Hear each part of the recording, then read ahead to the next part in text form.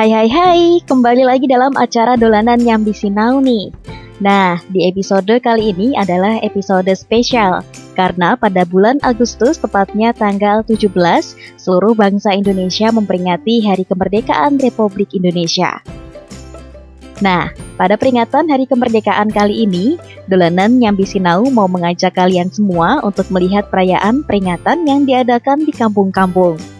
Pastinya teman-teman dolanan Nyambi Sinau juga ikut meramaikan dengan segudang kegiatan bukan? Mulai dari karnaval, perlombaan, upacara bendera, hingga tasyakuran. Lokasi kampung pertama yang akan dikunjungi Keisha adalah Puspa Regensi, di mana teman-teman kita di sini sudah siap dengan karnaval sepeda hias. Hmm, sepertinya asyik sekali nih. Tapi sebelumnya, Keisha sapa dulu yuk teman-teman dolanan Nyambi Sinau di mana pun berada.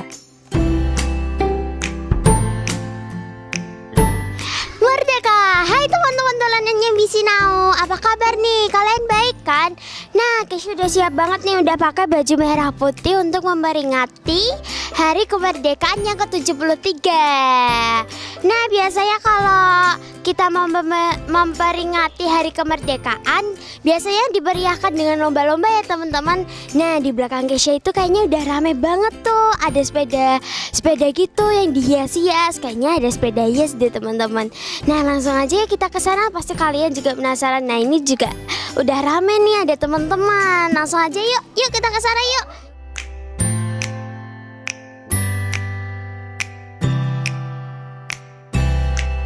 Dari pagi teman-teman kita dari Puspa Regensi sudah siap dengan sepeda hiasnya loh. Karena karnaval sepeda hias ini adalah momen yang sangat ditunggu-tunggu oleh teman-teman kita di kompleks Puspa Regensi loh. Coba lihat, Sepedanya dihias sedemikian rupa sehingga tampak berwarna-warni. Terlihat cantik, meriah, dan semarak, sesemarak peringatan HUT Kemerdekaan Republik Indonesia yang ke-73. Yang dihias gak cuma sepedanya aja loh, tapi teman-teman kita ini juga menghias penampilan mereka juga. Terlihat semarak seperti sepeda hias yang akan dinaikinya.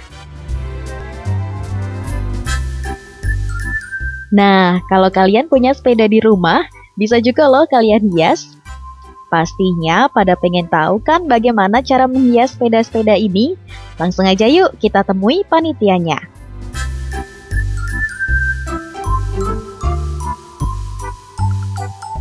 Teman-teman sekarang Kesha udah ketemu sama Bapak Panitia nih. Dengan Bapak siapa Pak? Bapak Agung. Bapak Agung ya Bapak. Pak Kesha mau tanya-tanya sedikit nih ya, tentang boleh. sepeda hias ini Oke boleh. Sebenarnya itu acara apa sih Pak? Oh ya ini dalam rangka memperingati hari ulang tahun kemerdekaan Republik Indonesia yang ke-73 Perumahan Puspa Regensi Pedurungan Kidul mengadakan sepeda hias, karnaval sepeda, sepeda hias. Karnaval ya. sepeda iya. hias ya, Bapak. Iya.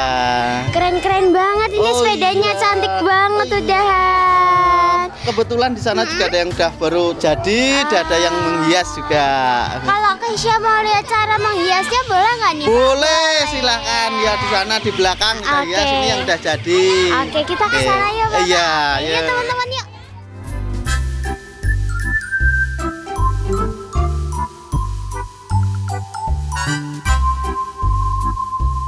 Nah Pak, uh, untuk menghias ini kita butuh bahan apa aja nih Pak? Oh iya, yang dibutuhkan untuk menghias ini kita butuh kertas krep, kertas krep, lem, lem. kertas manila, hmm. bendera kecil-kecil, ya. juga kalau ada balon pakai balon. Wow. Nah, untuk menghiasnya sederhana sebenarnya ya, tapi kelihatan indah untuk iya, anak-anak. Iya betul banget. Waktu pertama kali Kesha lihat tuh kayaknya rumit deh pak. Itu rumit oh, gak sih? Enggak, ini oh, anak-anak ya? bisa menghiasnya. Wah, Kesha pengen iya. belajar nih jadinya. Iya, ini ini menghiasnya ini pada menghias sendiri-sendiri. Iya. pak gimana kalau langsung aja kita hias pak sepedanya? Oke kita hias nih nih nih Mama Putra hias. Hmm, dari pagi? Eh, malah dari semalam loh, teman-teman di sini sibuk menghias sepeda masing-masing. Nah, perlengkapan yang perlu kalian siapkan untuk menghias sepeda ini pastinya kertas krep atau kertas minyak atau juga bisa kertas marmer aneka warna. Atau sesuai selera kalian, kemudian balon sebagai aksesoris tambahan tak ketinggalan bendera karena tema kita kali ini adalah Semarak 17 Agustus dan juga lem serta gunting. Nah, untuk menghias bagian pinggir atau menghias badan sepeda, kalian bisa menggunakan kertas krep, kertas minyak, ataupun kertas marmer yang kalian potong memanjang dan gunting menyerupai sisir untuk membuat rawis-rawis pada sepeda. Setelah itu, kalian tempelkan di badan sepeda dengan menggunakan lem atau double tip. Hmm, tak ketinggalan, kalian pasang balon serta bendera, sehingga sepeda kalian terlihat semakin semarak dan meriah, semeriah dan semarak peringatan HUT Kemerdekaan Republik Indonesia yang ke-73. Oh ya, kalau menghiasnya jangan terlalu berlebihan ya, dalam arti, kalau menghias sepeda jangan terlalu berlebihan karena kalau terlalu berlebihan akan mempengaruhi beban sepeda. Padahal yang menaikinya anak-anak. Jangan terlalu banyak menghias bagian stang karena nanti membuat anak-anak sulit untuk mengendalikan sepedanya loh. Wah wah wah, sepedanya sudah siap semua nih. Eits, ada juga yang naik mobil-mobilan. Maklum, karnaval kita kali ini diikuti dari usia di bawah 3 tahun di usia di bawah 5 tahun hingga usia kelas 6 sekolah dasar.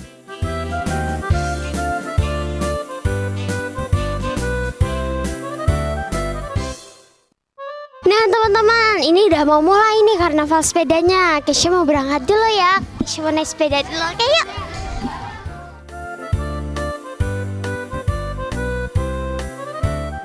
Hmm, karena pesertanya banyak yang anak usia di bawah 5 tahun, jadi banyak orang tua yang ikutan mengawal nih.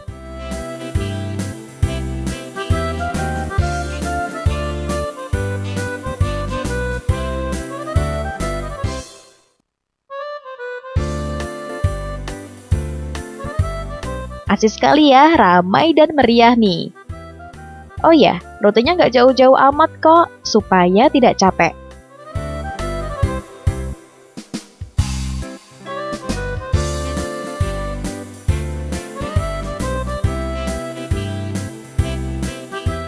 Wah, cantik-cantik sekali ya sepeda hiasnya.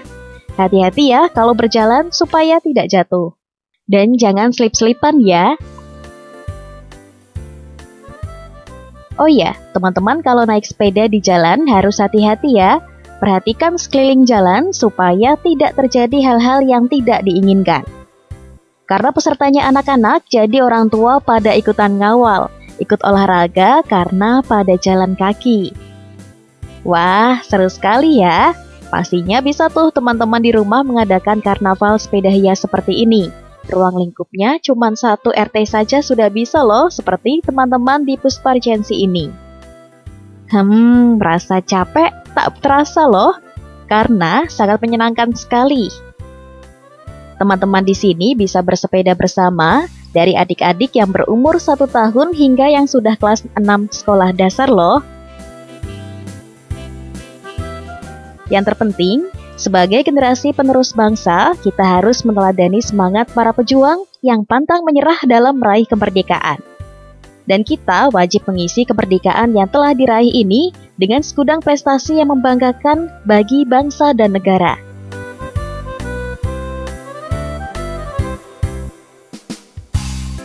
Seru kan? Nah, setelah berkeliling jalan, sekarang rute yang dilalui adalah berkeliling kompleks. Tak terasa sudah selesai nih, sudah kembali lagi ke tempat start tadi. Istirahat sebentar yuk. Nah teman-teman sekarang Kesha udah ketemu nih sama teman-temannya Kesha udah sama teman-teman Kesha rame banget teman-teman. Nah sekarang Kesha mau tanya-tanya nih sama teman-temannya Kesha. Hai Neta. Hai, gimana nih tadi perasaannya waktu ngehias sepeda nih? Senang. Senang ya. Terus Rumit gak sih waktu ngehias sepedanya? Enggak ya. Waktu karnavalnya seru nggak? Seru. Seru ya. Oke deh, sekarang Kesha mau tanya nih sama teman Kesha yang cowok. Hai Putra. Gimana tadi perasaannya ngehias sepedanya? Senang. Senang. Rumit gak sih tadi waktu ngehiasnya? Apa perlu bahan yang banyak gitu? Enggak, Enggak ya, sedikit ya.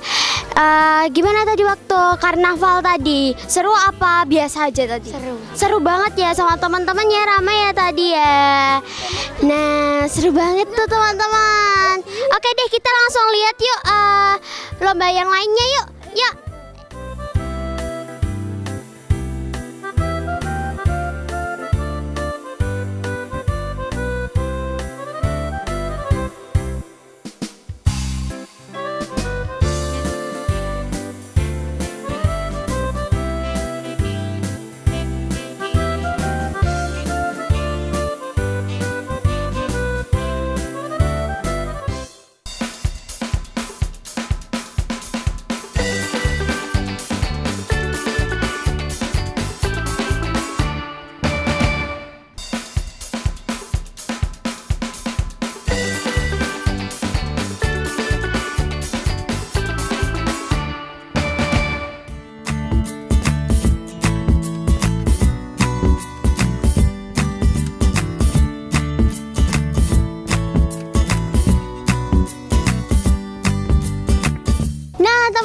Tadi setelah kita lihat sepeda hias, sekarang Kesia mau ajak kalian buat lihat lomba-lomba nih. Pastinya kalian penasaran kan uh, bakalan seseru apa sih lombanya itu?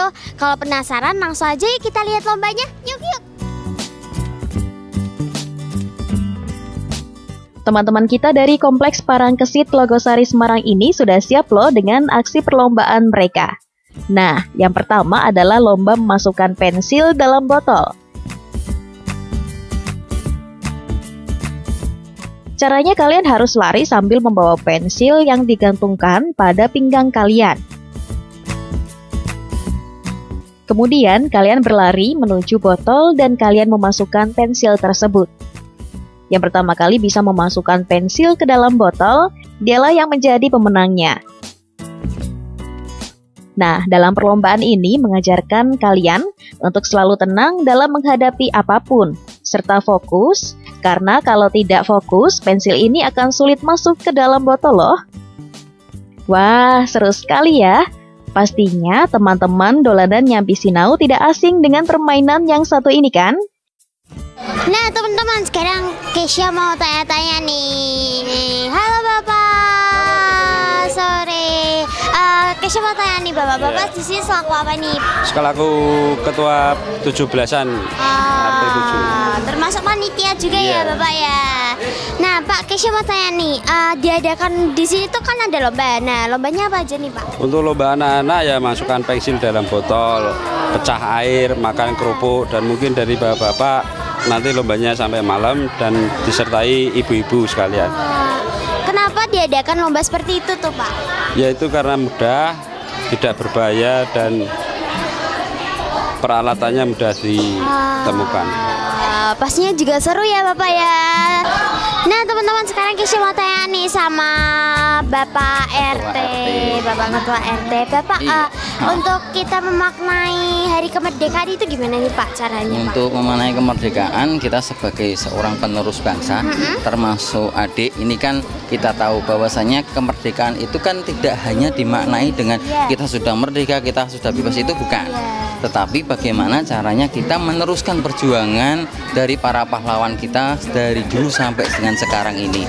Oleh karena itu salah satunya untuk menyemarakkan dan untuk mengingatkan kita para perjuangan itu salah satunya ada bukan perlombaan, mungkin pentas seni dan lain sebagainya seperti itu.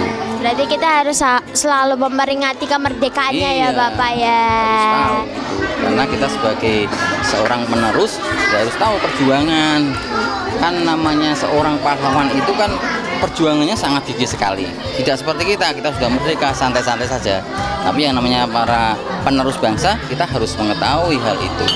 Dan gimana? Gitu ya Bapak iya, ya. Terima kasih. Nah, gitu teman-teman cara kita buat memaknai kemerdekaan.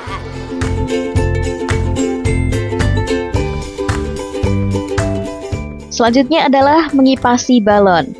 Hmm, balonnya kok dikipasi ya? Apa kalau dikipasi balonnya bisa matang ya? Hmm, enggak kok teman-teman.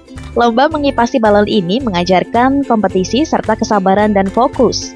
Karena balon kalau dikipaskan akan lari ke mana-mana. Jadi kalian harus sabar sesuai jalur dan fokus supaya balon kalian tidak tertukar dengan teman lainnya. Seperti teman-teman kita ini loh, mereka asik mengipasi balon sampai balonnya lari ke mana-mana. Jadi jangan sampai tertukar ya. Yang pertama sampai finish itulah yang menjadi pemenangnya. Jadi, dengan mengikuti perlombaan ini, kita sebagai generasi penerus dapat mengenang serta menghargai jasa para pejuang yang telah berjuang meraih kemerdekaan negara Indonesia tercinta. Perlombaan selanjutnya adalah lomba origami. Itu loh, lomba melipat kertas untuk menjadi bentuk yang diinginkan. Nah, kali ini membuat bentuk pesawat Pastinya teman-teman dolanan nyambi sinau bisa kan membuat pesawat dari kertas lipat? Oh ya, dari mana sih asal muasal perlombaan ini? Ternyata tidak ada secara pasti asal muasal perlombaan-perlombaan dalam memperingati HUT Republik Indonesia. Namun perlombaan-perlombaan ini merupakan comotan dari masa Belanda dan zaman penjajahan Jepang yang ditambah dengan aneka lomba baru. Perlombaan dan momen perayaan sejatinya adalah persambungan dari masa sebelum merdeka. Jika dahulu masa Belanda, perlombaan diselenggarakan untuk menghormati Ratu Belanda dan kedatangan Jepang, maka setelah merdeka rakyat Indonesia menyelenggarakan perlombaan untuk peringatan kemerdekaan. Kurang lebih seperti itu teman-teman.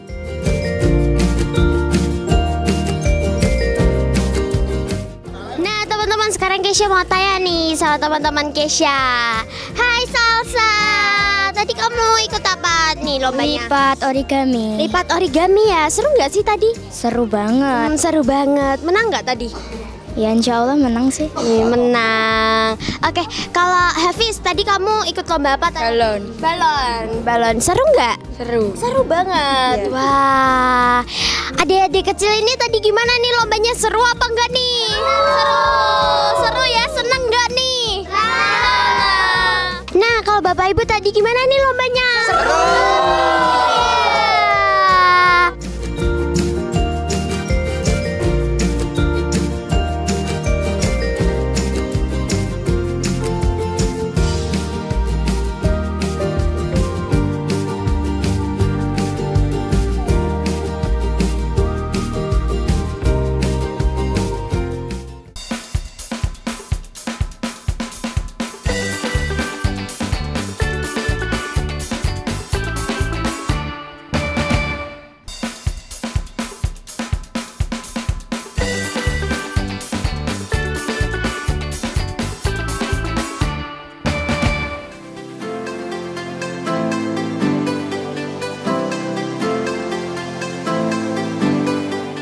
Oh ya, masih ada lomba joget balon loh, dan kerupuk juga. Perlombaan ini tak hanya diikuti oleh anak-anak saja, tapi semua kalangan sampai ke orang tua. Nah, untuk ibu-ibu ada lomba joget balon. Hmm, seru tuh. Balonnya diletakkan di punggung yang dibawa secara berpasangan, dan yang terpenting, gak boleh jatuh.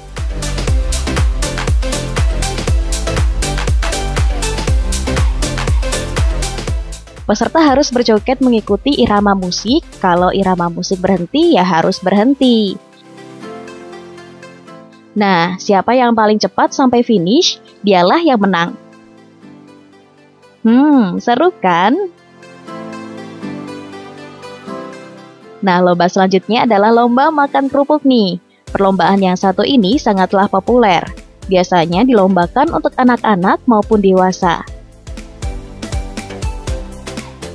Di lomba ini pesertanya diwajibkan memakan kerupuk masing-masing dan pemenangnya adalah yang tercepat menghabiskan kerupuknya. Kegiatan ini mengajarkan betapa masyarakat tetap bersemangat meskipun dalam penjajahan dan didera kesulitan pangan, sandang, dan papan akibat hasil panen utama yang diambil kaum penjajah. Dengan simbol rasa semangat itu juga masyarakat menghadirkan kembali dalam perlombaan ini sebagai pengingat mereka akan kondisi yang terjadi di masa penjajahan. Bagaimana teman-teman, dolanan yang bisinau seru dan meriah sekali kan? Tentunya kalian di rumah juga mengikuti perlombaan semacam ini kan? teman-teman, eh, sekarang waktunya Keisha pamit undur diri nih. Sampai jumpa minggu depannya. Dah. Cachaquita presta así. ¡Banda! ¡Bórrega! ¡Bórrega!